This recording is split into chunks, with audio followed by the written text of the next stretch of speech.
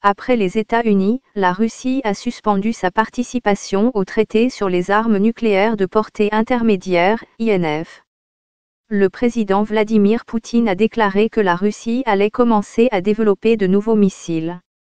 Nos partenaires américains ont annoncé qu'ils suspendaient leur participation au traité, et nous le suspendons aussi, a déclaré M.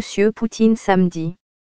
Toutes nos propositions dans ce domaine, comme auparavant, restent sur la table, les portes des négociations sont ouvertes, a-t-il ajouté après les États-Unis, la Russie a suspendu sa participation au traité sur les armes nucléaires de portée intermédiaire, INF des sanctions plus fortes contre Moscou. La Russie fait étalage de sa puissance de feu. Les relations Russie-Occident sont détériorées vendredi. Les États-Unis, qui accusent depuis longtemps la Russie de violer le traité, ont officiellement annoncé qu'ils suspendaient leurs obligations dans le cadre de l'accord conclu après à la fin de la guerre froide. Le traité sur les armes nucléaires de portée intermédiaire, INF, signé en 1987, abolit l'usage par les États-Unis et la Russie des missiles terrestres d'une portée de 500 à 5500 km.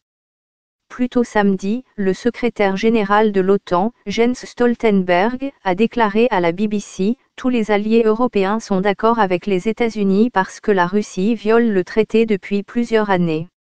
Il déploie de plus en plus de nouveaux missiles nucléaires en Europe. Présidentielle américaine, sanctions contre la Russie Vive tension entre la Russie et le Royaume-Uni mais exige des explications à la Russie. Il a également déclaré que la période de six mois accordée à la Russie par les États-Unis pour revenir à une conformité totale devrait être mise à profit. Les Américains disent avoir la preuve qu'un nouveau missile russe se trouve dans la zone de portée de 500 à 5500 km interdite par le traité.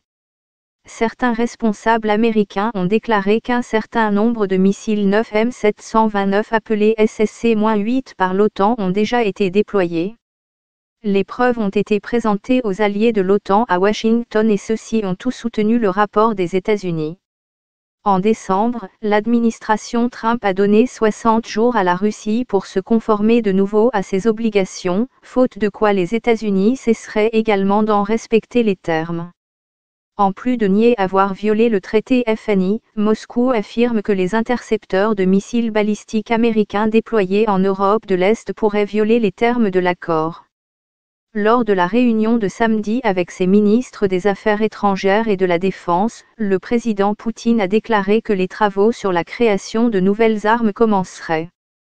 Il s'agit notamment d'une version terrestre du missile de croisière russe calibre, lancé par mer, et de nouvelles armes hypersoniques qui peuvent atteindre une vitesse cinq fois supérieure à celle du son mais M. Poutine a déclaré que Moscou ne se laisserait pas entraîner dans une course aux armements coûteuses et qu'elle ne déploierait pas de missiles à courte et moyenne portée si les armes américaines n'étaient pas déployées en premier. Ces nouveaux missiles sont mobiles, difficiles à détecter, capables d'atteindre les villes européennes et n'ont pratiquement pas de temps d'alerte, de sorte qu'ils réduisent le seuil d'utilisation potentielle d'armes nucléaires dans un conflit, a déclaré Jens Stoltenberg de l'OTAN à la BBC.